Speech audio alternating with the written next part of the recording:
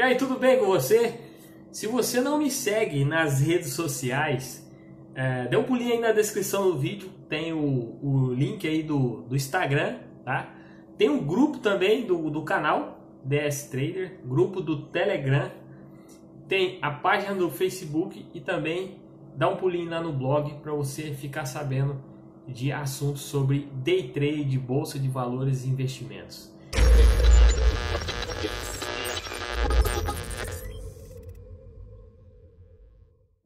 Quem não me conhece, meu nome é Jonathan Souza, seja bem-vindo a mais um vídeo do meu canal. E hoje eu vou mostrar para vocês um padrãozinho de que, que, pode aparecer na hora que você estiver fazendo suas operações no mini dólar ou no mini índice. É, vocês podem observar que a hora que acontecer isso que eu vou mostrar aqui para vocês agora, vocês podem pegar é, muita grana. Vocês podem fazer muita grana entrando, conseguir entrar nessa operação. Ela é muito rara de acontecer, tá? Esse padrãozinho você vai enxergar no, no candle. É muito raro mesmo de acontecer. Mas quando você observar isso, e se você lembrar do que eu estou falando agora, você vai conseguir ganhar muito dinheiro nessa operação. Beleza? Então vamos lá, vamos para a tela do computador. Galera, é o seguinte, estamos aqui agora olhando uh, um gráfico aqui de 15 minutos, de 5 minutos, tá? É, no dólar. Vocês podem observar aqui é, o que aconteceu no último dia 22, tá? Isso é muito raro de acontecer, tá bom? Mas é esse padrão aqui, ó. Dê uma olhada nesse candle aqui.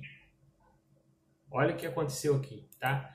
Isso é, é tipo de uma, uma reversão é, muito forte. Então, o mercado ele deu aquela, ele foi, estava indo para um lado, de repente, do nada, ele mudou a, é, essa essa reversão. Isso se dá é, muitas vezes a, a, uma notícia. Então acontece alguma, alguma notícia e aí o mercado ele está indo para um lado, de repente ele vai para o outro de uma maneira muito rápida, tá? Então, se vocês conseguirem, se vocês estiverem lendo o gráfico e vocês observarem uma coisa que eu vou falar aqui, vou mostrar aqui agora para vocês.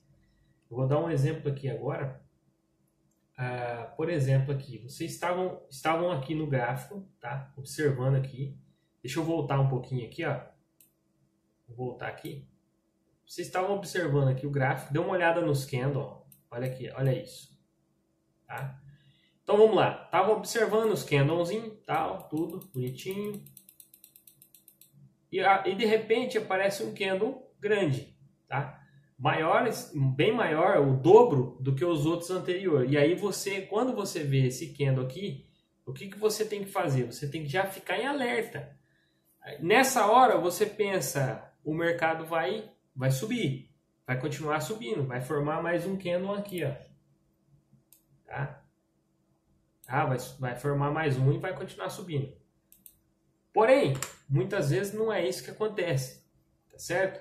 Não é isso que acontece. Então, é por isso que quando aparecer esse tipo de candle, o mercado, vocês podem ver que ele estava é, vindo de uma, de uma sequência de candles aí, mais ou menos padrão, e de repente ele mudou, ele mudou. O candle, o mercado mudou, aconteceu alguma coisa, entrou muitos compradores ali, é, então aconteceu alguma coisa. Ou o mercado vai subir, ou ele vai cair de repente.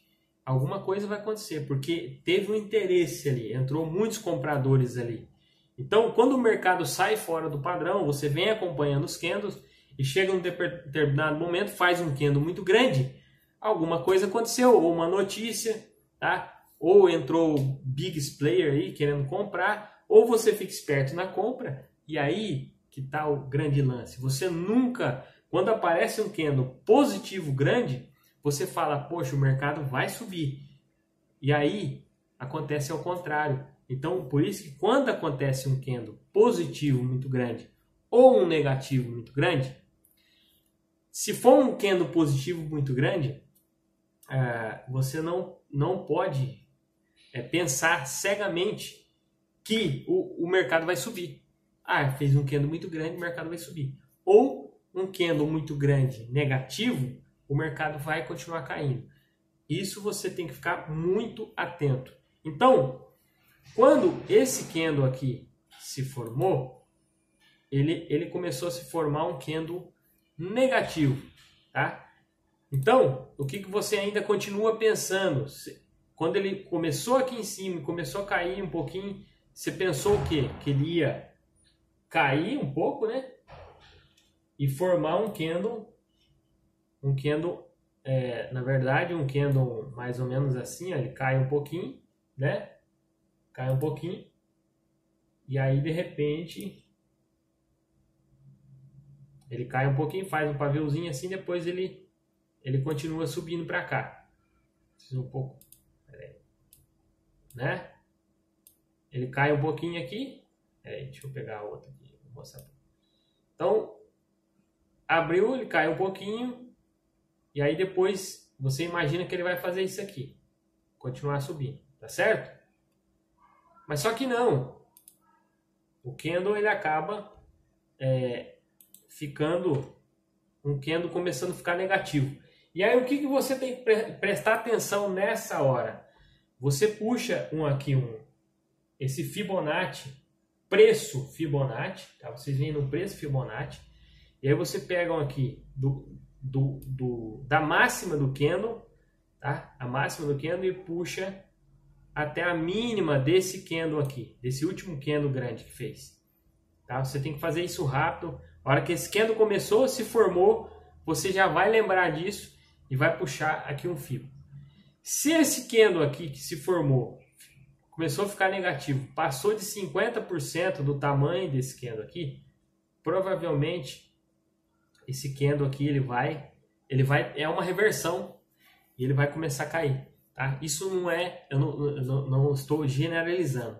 Algumas vezes isso não vai acontecer, mas a maioria das vezes isso acontece, tá? É, então, se você reparou que esse candle aqui passou de 50%, o que, que você faz imediatamente? Você pensa, o mercado reverteu, tá? E aí ele chega até aqui, começa a pipocar aqui, e o que, que você pode fazer aqui? Colocar uma venda bem aqui, tá? Então, eu sei que o stop vai ficar muito grande, porém você vai conseguir pegar é, muita grana aqui nessa operação, tá? Porque quer dizer que ele fez uma reversão muito forte e entrou um, um, fez um candle fora do padrão, tá? Fez um candle aqui fora do padrão do que vinha acontecendo. O que que isso, o que que isso quer dizer? Entrou mais pessoas aqui negociando na bolsa. E aí essas pessoas entraram forte comprando e entrou é, um, é, passou de 50% dessa força vendedora. Tá? Então tem mais força vendedora do que compradora aqui, eu já eu, eu já estou pensando. Então o que, que pode ter acontecido? O mercado ele fez uma reversão muito violenta e ele pode continuar caindo. Se eu tenho muitas pessoas que entraram vendendo é, loucamente, vendendo, vendendo, então isso pode acontecer uma queda muito grande. E aí, quando ele passa de 50%, eu tenho uma força muito grande na venda, tá? E aí, o que, que, que, que, eu, que, que eu faço? Eu coloco a minha venda aqui, tá? Eu coloco minha venda já, já eu, eu vendo a mercado, tá? Terminou o candle, eu faço uma venda a mercado com o meu stop aqui em cima. E aí, tumba, tá? Tumba, tumba, tumba, tá? Então, aqui você viu aqui o tanto de ponto que você pegou ó, no dólar, 42 pontos no dólar, tá? Então, quando você vai pensar, poxa, meu stop é muito grande, porém, você vai pegar é, o tanto que você pôs de stop, você vai praticamente pegar de volta, tá?